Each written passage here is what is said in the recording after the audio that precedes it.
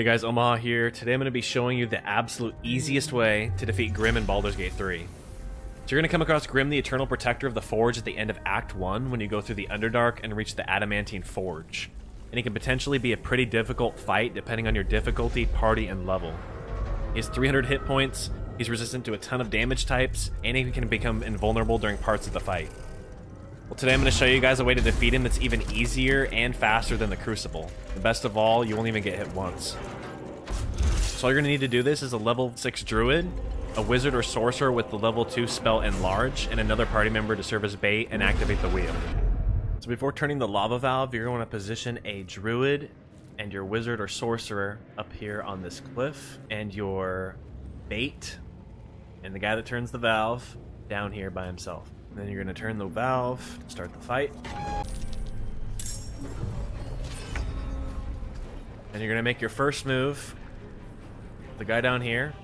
You're going to go over here. Jump across here. And turn. He's going to use his Awakened ability. You're going to move this way. Jump over here or anywhere over here and just walk over in this general area.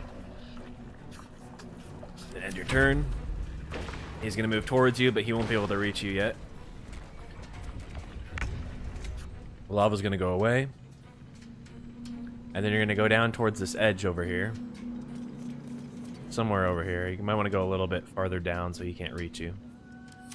End your turn. He's going to come towards you, but he still won't be able to reach you yet. Then you're going to take your druid and either be in this form already or transform into the owlbear form. And then you're going to take your wizard with your enlarged spell. Cast enlarge. Now, this isn't 100% necessary. You can still do this without using enlarge, but this just pretty much guarantees it's going to work. Still breathing, despite everything. And then you're going to use your crushing flight ability. Leap at a target to bite it and knock it prone. So this scales with mass, which is why we use enlarge, and it scales with height. So we're super high up. You're going to want to target him without targeting your teammate, hopefully. And then you're going to use it. And you're going to one-shot him. 2,018 damage. So if you don't have a wizard or sorcerer in your squad, you can still do this without the enlarge spell. The enlarge spell just pretty much guarantees it's going to work because it increases your strength checks. And if you don't use the enlarge spell, a decent amount of the time he's going to pass his saving throw on strength and it's not going to hit.